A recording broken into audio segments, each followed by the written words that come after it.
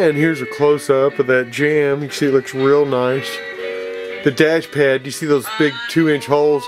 The dash pad covers every bit of that area. Where there's slight pitting, you'll never see it. It's a good, solid channel.